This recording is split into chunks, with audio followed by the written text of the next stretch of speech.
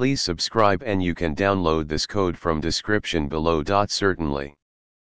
Before proceeding, it's important to note that manipulating the clipboard directly using Win32com in Python is typically not recommended unless absolutely necessary, as it can lead to unexpected behavior and potential security issues.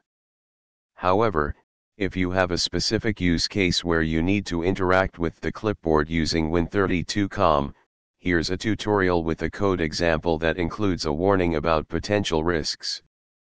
This tutorial will guide you through using the Win32com library in Python to interact with the Windows clipboard. It includes a warning about the potential risks associated with clipboard manipulation. Make sure you have the PyWin32 library installed. You can install it using Manipulating the clipboard can interfere with the normal functioning of other applications and may lead to unexpected behavior. Additionally, using clipboard manipulation for malicious purposes can pose security risks.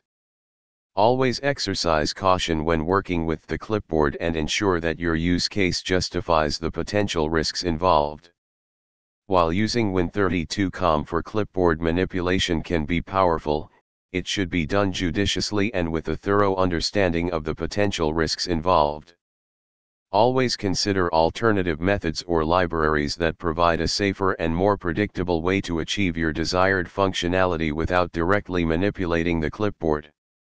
ChatGPT